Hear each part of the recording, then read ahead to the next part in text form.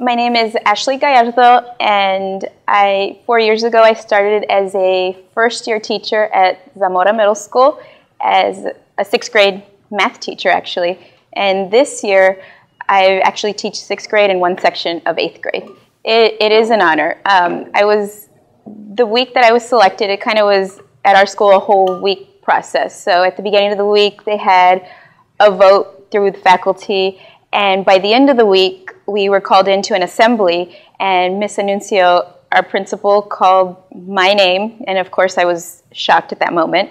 And then I, I, I guess I was shocked. I was very humbled. I felt honored to have been selected by, you know, by my peers. So it was a, it was nice to have been acknowledged. Well, I mean, I feel I, I feel that you know in my classroom you know it's a math classroom I mean we we we do do a lot you know we we do a lot coming, you know, into Saturday school. We have, you know, tutoring sessions after school, and so, you know, we, I feel that we, it, it is an honor.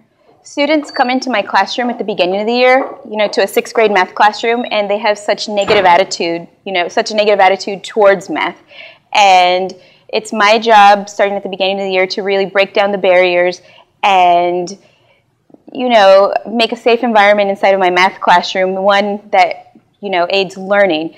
And so, as I said earlier, I mean, I'm, I'm an entertainer. I tell people my job is entertainer. That's what I do, 8 to 3.35, sometimes on the weekends, after school.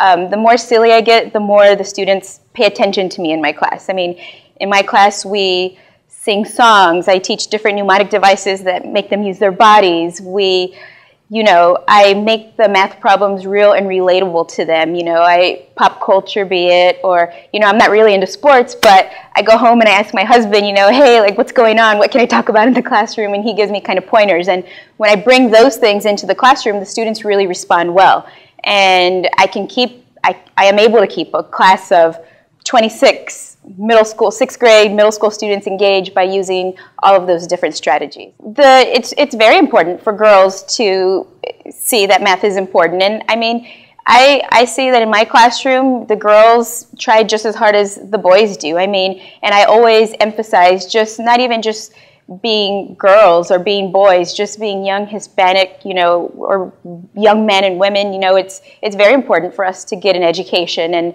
and I emphasize the fact that if you know if you, math is what you like, then it can take you a long way. If just knowing math can get you where you want to be. So 10 years, well, short-term goal. I you know it's just getting my kids ready for the STAAR test and teaching is what I enjoy doing now. But I would hope that within the next four to five years that I can pursue pursue a degree in administration, possibly. So we'll see. That so in the, my long-term goal, 10 years, I would hope to be possibly an administrator. Just thank you. You know, thanks to all my students, to the sixth, seventh, and eighth graders, because without them, I wouldn't be here. I feel that it's they're the ones who put in the hard work from day to day. And thank you to the Zamora family. I mean, they're the ones who selected me as teacher of the year. So, you know, I've felt very honored by that.